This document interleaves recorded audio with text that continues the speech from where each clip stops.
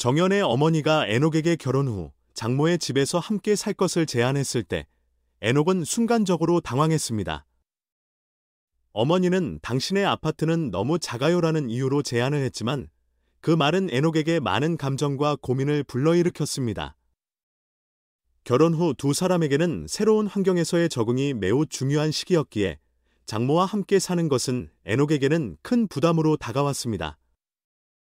그는 결혼 후 아내와 독립적으로 살아가고 싶은 꿈을 꾸고 있었기 때문에 장모의 집에서 함께 살라는 제안은 예상치 못한 큰 스트레스로 다가왔습니다. 에녹의 마음속에서는 수많은 생각이 교차했습니다. 그는 결혼은 새로운 출발인데 우리가 장모님의 집에서 살게 된다면 과연 부부로서 독립적인 생활을 할 수 있을까? 라는 의문을 떠올렸습니다. 그동안 꿈꿔왔던 결혼 생활은 둘만의 공간에서 서로의 시간을 소중히 하며 독립적인 가정을 만들어가는 것이었지만 장모의 집에서 살게 되면 자신만의 정체성을 잃고 가정의 중심이 흐트러질 것 같은 불안감이 그를 압박했습니다. 특히 그는 자신의 삶에서 중요한 결정을 스스로 내리고 아내와 함께 새로운 가정을 만들어가고 싶었습니다. 하지만 장모의 제안을 받아들인다면 그가 결혼 후 계획했던 독립적인 생활은 멀어질 것 같았습니다. 그는 아내와의 새로운 출발을 위해서는 자신들만의 공간이 필요하다고 느꼈고 장모의 집에서 살게 되면 그 공간에서 자신의 역할을 찾기 어려울 것 같다는 생각이 들었습니다. 결국 에녹은 장모의 제안을 거절하기로 결심했습니다. 그는 정중하게 장모에게 자신의 입장을 설명하며 아내와 함께 독립적인 생활을 시작하고 싶다는 의사를 전했습니다. 그는 장모님의 제안이 사랑과 배려에서 나온 것임을 알았지만 두 사람의 행복을 위해서는 그들만의 공간에서 새로운 가정을 꾸리는 것이 필요하다고 판단했습니다. 이 결정을 내린 후 에녹은 자리에서 일어나 장모님의 집을 떠났습니다. 이 사건은 에녹에게 큰 고민을 안겨주었지만 동시에 결혼 후 그가 나아갈 방향에 대해 더욱 확신을 갖게 해주었습니다. 그는 아내와 함께 새로운 시작을 다짐하며 두 사람의 관계를 더욱 단단히 다져갈 수 있는 계기가 되었습니다. 그는 자신의 선택이 옳았다고 확신했습니다. 새로운 가정을 꾸리는 데 있어 자신만의 공간과 시간이 필요하다는 사실을 깨달은 것이 그의 결단을 더욱 굳건하게 만들었습니다. 에녹은 결혼 후 아내와 함께 독립적인 삶을 꾸리고 싶었고 장모님의 집에서 사는 것이 그들이 꿈꿨던 결혼 생활과는 맞지 않는다고 느꼈습니다. 그의 결정은 결혼 생활의 기초를 단단히 다지는 계기가 되었을 것입니다. 이 사건은 정연에게도 큰 깨달음을 안겨주었습니다. 결혼이란 단순히 두 사람이 함께 사는 것이 아니라 각자의 독립성과 개인의 경계를 존중하며 함께 살아가는 과정이라는 것을 알게 되었습니다. 어머니의 제안은 분명 사랑과 걱정에서 비롯된 것이었지만 에녹의 선택은 두 사람의 행복을 위한 올바른 방향으로 나아가는 첫걸음이었습니다. 에녹은 아내와 함께 새로운 가정을 시작할 때 독립적인 생활을 꾸리며 그들만의 방식으로 서로를 이해하고 함께 성장하는 것이 중요하다고 생각했습니다. 그들의 결혼 생활이 장모님의 영향 아래서 시작되면 그만의 역할과 정체성을 잃게 될까봐 두려웠던 것입니다. 이러한 불안감은 그가 독립적인 생활을 고집하게 만들었고 이는 결국 두 사람의 결혼 생활을 더욱 안정적으로 만들기 위한 중요한 결정으로 이어졌습니다. 정연도 남편의 결단을 존중하며 두 사람만의 독립적인 가정을 꾸리는 것이 장기적으로 더 나은 선택이라는 사실을 받아들였습니다.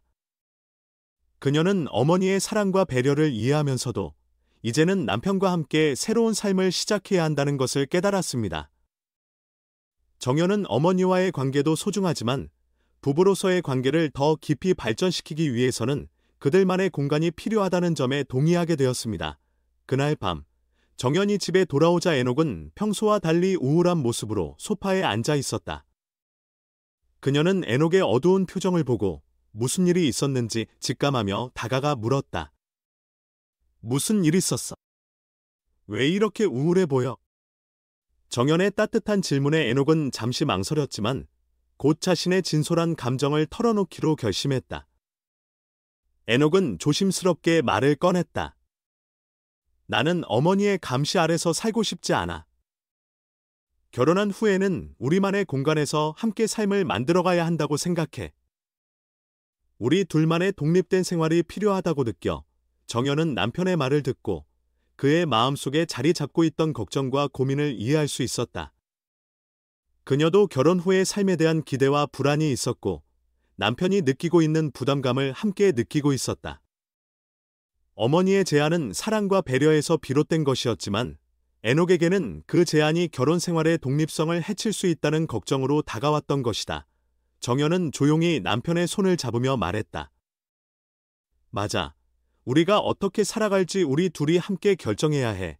어머니의 마음도 이해되지만 우리도 우리만의 방식으로 이 문제를 해결할 방법을 찾아야 해.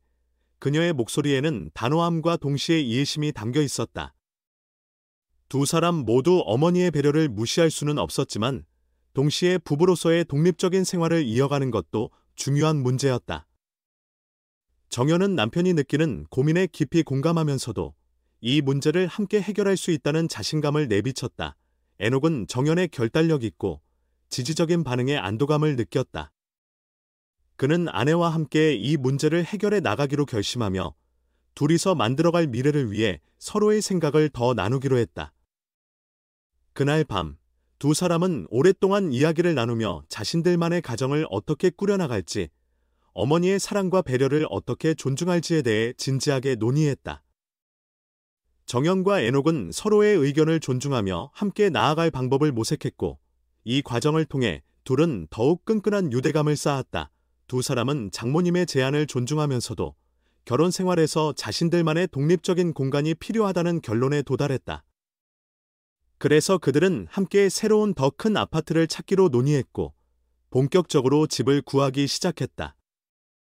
두 사람은 독립적인 공간에서 자유롭게 살아가고 싶었으며 그들의 결혼 생활을 더욱 특별하게 만들 수 있는 새로운 보금자리를 찾는 것이 무엇보다 중요했다.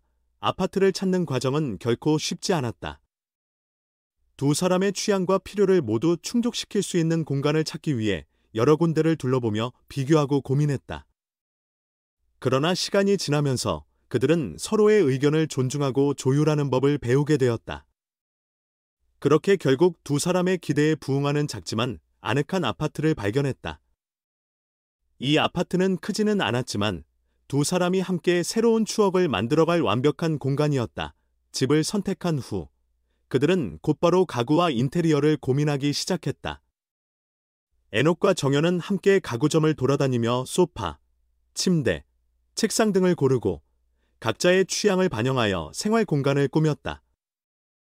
이 과정에서 두 사람은 서로의 취향을 맞춰가며 작은 부분까지 신경 썼고 이 모든 것에 그들의 흔적이 담기기 시작했다.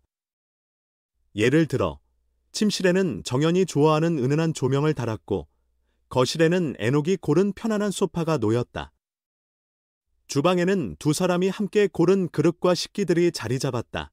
그들은 아파트의 작은 디테일까지 세심하게 신경 쓰며 둘만의 공간을 만들어갔다. 벽에 걸린 사진들은 그들이 함께한 시간들을 상기시키고 창가에 놓인 화분들은 그들의 삶의 새로운 시작을 의미하는 듯했다. 집안 곳곳에 담긴 그들의 손길은 두 사람의 사랑과 결혼 생활에 대한 기대를 보여주었다. 이 과정을 통해 두 사람의 관계는 더욱 끈끈해졌다. 함께 결정을 내리고 의견을 나누며 서로의 생각을 존중하는 이 시간이 그들에게는 단순한 인테리어 이상의 의미를 가졌다. 이 집은 이제 그들의 사랑과 추억이 담긴 소중한 공간이 되었고 앞으로의 결혼 생활을 더욱 단단하게 만들어줄 중요한 기반이 되었다. 두 사람은 새로운 집에서의 생활을 통해 더욱 깊은 유대감을 느끼며 앞으로도 함께 만들어갈 미래에 대한 기대감을 품었다.